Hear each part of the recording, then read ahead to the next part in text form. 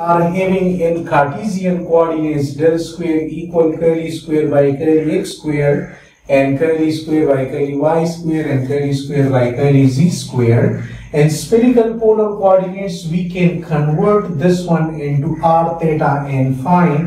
We will utilize these relations and the chain rule as well. So now we will have to substitute the value of del square and the value of for psi I will write r and y. So putting these values into the Schrodinger wave equation, we will have minus h bar square over 2m will be common, minus h bar square over 2m and then I will write del squared. So del squared, I will write 1 over r squared curly by curly r and r squared this. But when I write for del squared psi, so psi will be here and for psi I will write r and y.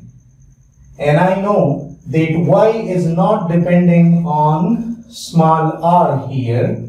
So this y will come out and it will become y over r square and now I will write d over dr instead of curly by curly r because now the wave function is purely dependent on r only and r square curly uh, sorry this will also be d and r over dr.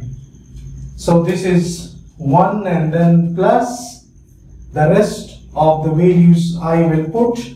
So now here 1 over r square sine theta will come in and here when I will put psi, psi is equal to r and y. So r is not depending on theta. It will come out and y will remain there. So I can write that r divided by r square plus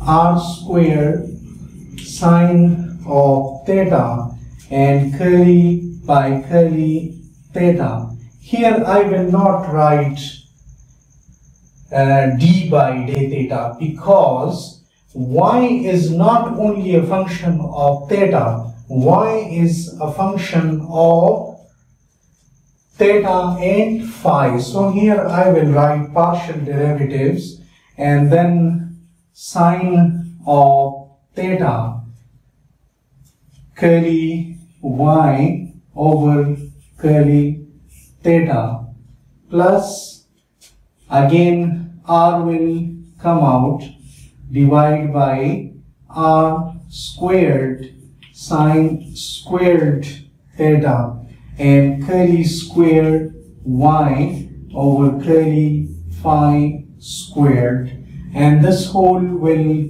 come inside this curly bracket. And the next term we will have v of psi. So plus v and for psi I will write r y. And this is equal to e psi so it will be E R Y. Now what I do in order to separate out the R, the radial portion and the angular portion. So what we do is first to divide by the reciprocal of this. So minus 2m over h bar square, we will have to multiply with this minus 2m over h bar square. So we will get rid of this term. Then I want that this r square is here, this r square is here and here. So I want to get rid of this r square as well. So I will multiply with r square. Then y is additionally here and R is here. Similarly, R is here. So in order to only remain the, only just separate them into the different variables here. means their respective variables. Let me divide by y, r and y. So if I divide by r and y, then this will give us, so if I multiply both sides with this, multiplying both sides with this then I will get this will cancel and I will get y will cancel with this y. So my term will be 1 over r and this will become 1 over r squared Okay, this r square has also been cancelled, so it will not be here. Only d over dr will be here. This has been cancelled, this one, with this. So 1 over r d over dr, r square dr over dr, and minus is we are multiplying with minus of we will have here minus 2 m r square divided by h bar square. I'm just combining this and this. This will become v minus e and ry will cancel with ry here. So minus 2mr square over h bar square come here and this is v minus E here. So V minus E and plus now the rest of the terms for the theta and this let me write here 1 over y and sine theta 1 over sine theta because 1 over sine theta will remain, r will cancel with r and 1 over y comes here and r square has also been cancelled. Curly by curly theta and sine of theta sine of theta plus this is curly y over curly theta. So this is equal to 0. And now we have separated the radial portion, which is actually this one, and the angular portion, which is this one. So these we have separated and they are equal to 0. This one I call the wave function which is only depending on r and this one is the wave function which is depending on theta and phi. So if I say that this plus this is equal to 0 then this means that if this is equal to a constant c then this will be equal to the minus of the same constant. And this constant is equal to this constant and they will cancel and we will have 0 here and this constant I suppose that this is equal to L into L plus 1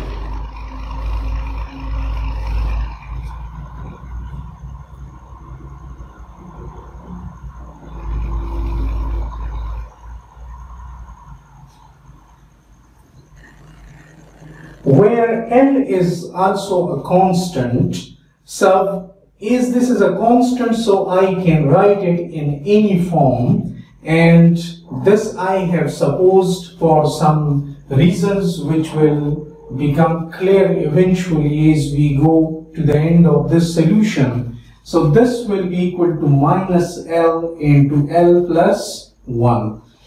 So I have separated the equation. This equation I call the radial equation and this equation I call the angular equation.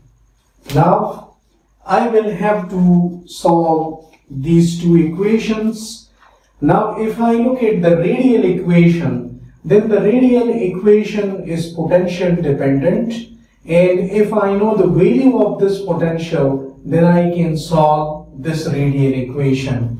While when I look at the angular equation, then the angular equation has no dependence on potential and I can solve it directly. But here I will again use separation of variables because this y is not a function of theta only, it's a function of phi as well. So first I go to the angular equation and the angular equation is that if I make this equal to minus n into n plus 1, so y will be multiplied with this.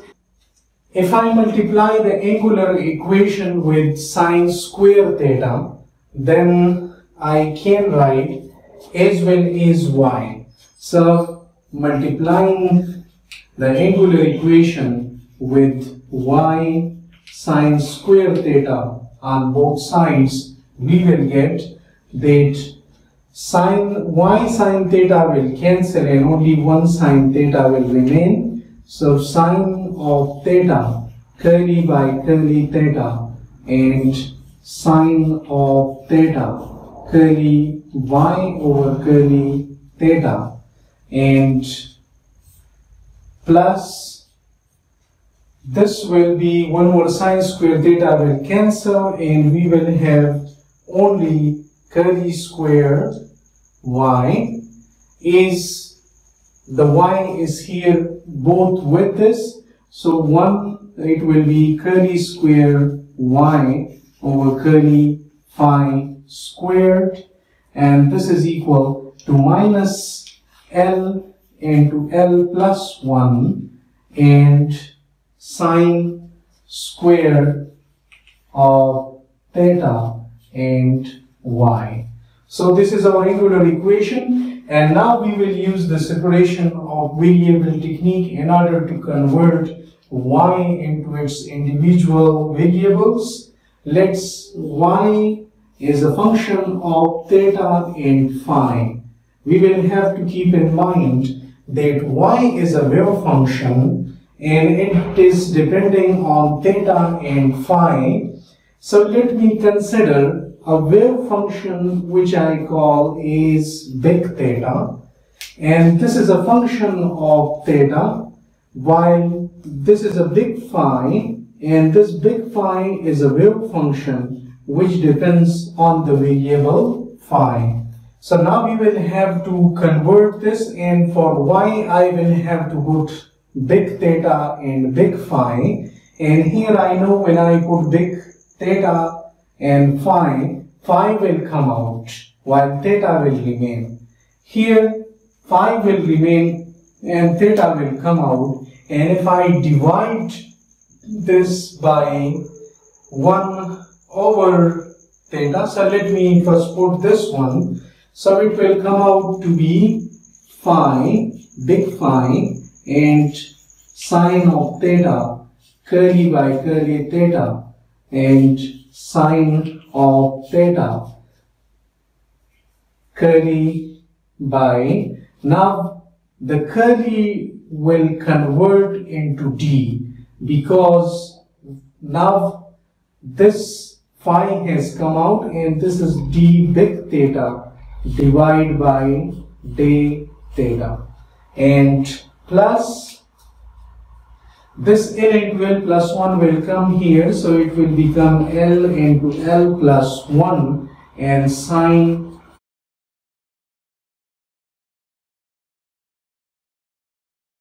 one over big phi d square big phi over d phi squared and this thing is equal to 0. Now if I look at this equation, then I will have to divide this equation with here is I have theta here and I have theta here. So this is the theta dependent portion but here is phi and I will have to divide this with okay here I have that phi and here is big phi and here I have theta and d square phi equal to 0 and now I will have to divide this by big theta and big phi. So if I divide this then I will get 1 over big theta sine of theta curly by curly theta and sine theta. Now this will become d by d theta. So sine theta d over d theta of big theta plus L into L plus 1 sine square theta this will cancel. So L into L plus 1 and sine square theta plus this theta will cancel and 1 over phi will remain here 1 over big phi d square big phi over d phi squared and this is equal to 0. Now I can separate these equations is this equation only depends on theta. This depends only on the zenith angle while this equation depends on the azimuthal angle which is phi.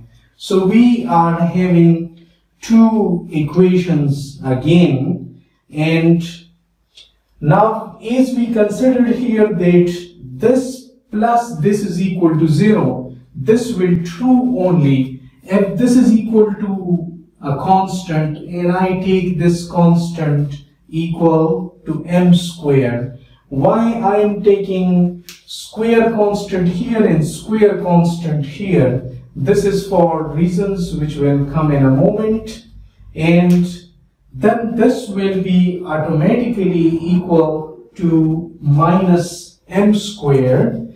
This equation, this is the angular equation and this is also the angular equation because theta and phi are the angular coordinates. Now this one only depends on theta and this one only depends on phi. So we are having now these two equations and we will have to solve them. First I will start with this simple one and this simple equation is 1 over phi. Keep in mind that this big phi is a wave function and this is equal to 0 so let me